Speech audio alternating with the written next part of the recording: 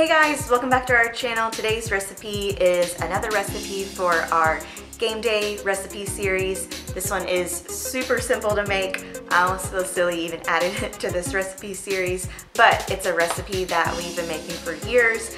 Anytime that we have game day parties at our house and our friends and family just love them. Today's recipe that we're gonna make is easy crock pot meatballs. There's only three ingredients total.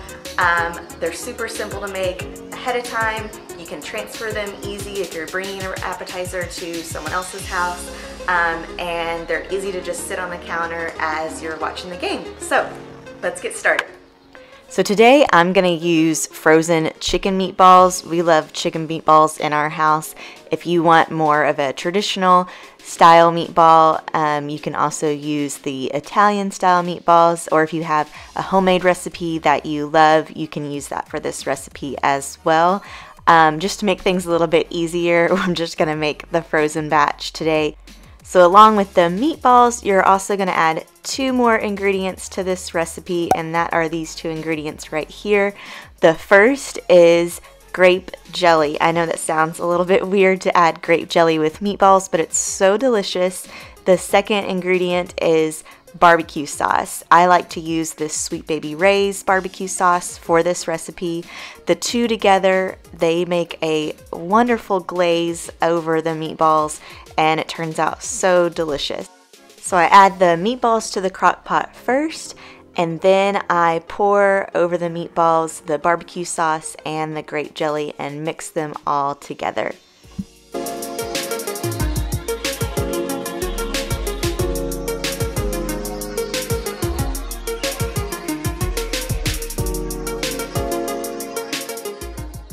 When you mix together the barbecue sauce and grape jelly with the meatballs, make sure you mix it really good to make sure the whole mixture is mixed well.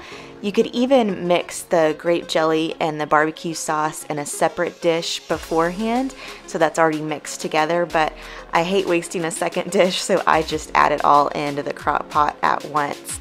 You can kind of also play with the amount of barbecue sauce and the grape jelly to see which you like more of or less of depending on the sweetness that you prefer.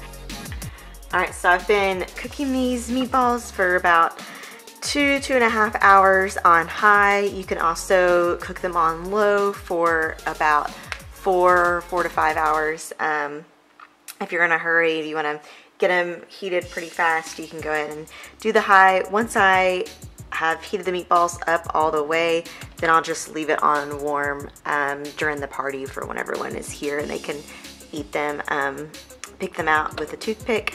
Um, but for now, I'll go ahead and turn this off while I stir it up. So the jelly actually melts down and kind of turns, let me scoot this forward a little bit see a little better. Um, the jelly kind of melts down and kind of turns into this liquid glaze.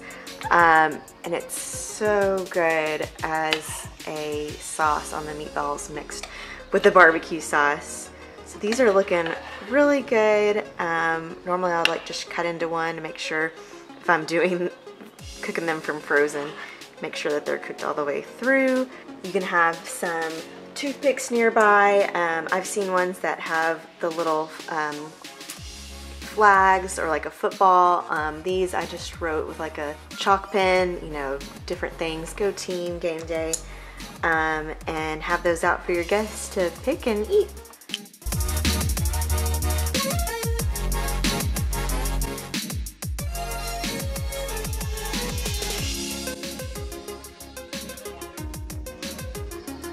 Don't forget, if you love this recipe, make sure you give it a thumbs up and subscribe to our channel down below so you don't miss any of our upcoming recipe videos. If you want more details on how to make this recipe and a printable recipe card, you can go to the link, I'll link it up above or in the description box below. If you have any questions about making this recipe, please leave me a comment and I'll answer any questions you have. Thanks for watching.